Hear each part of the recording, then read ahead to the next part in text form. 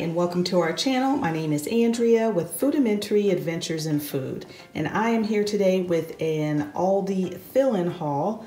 Um, I spent $68 and some change, so I will jump right in. So I'll start back over here with this thin sliced boneless skinless chicken breast. I like having these on hand for when I make Parmesan chicken or grilled chicken, stuff like that. And these are a special buy. They were $6.29 a bag and I grabbed two bags.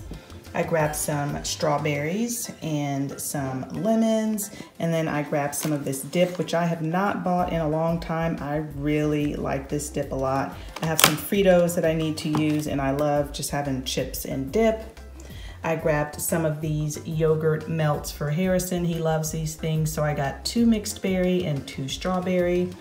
I needed some butterscotch chips for recipes and also some semi-sweet chocolate chips and I needed some onions for recipes and then I really like this um, cheese tortellini, like to have it on hand for quick meals, so I grabbed some of that. It has gone up quite a bit by like 50 cents or 60 cents, something like that.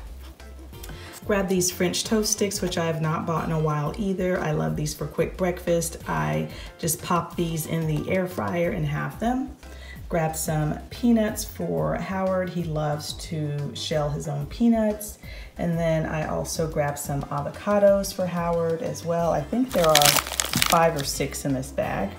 Grabbed some Parmesan cheese for a recipe that I'm going to be trying out and some green onions just because I love to have green onions uh, grabbed some candle scents. So there were four new scented candles, but I only liked these two. So I grabbed grapefruit and sea salt. I love anything grapefruit. It's a really light grapefruit scent.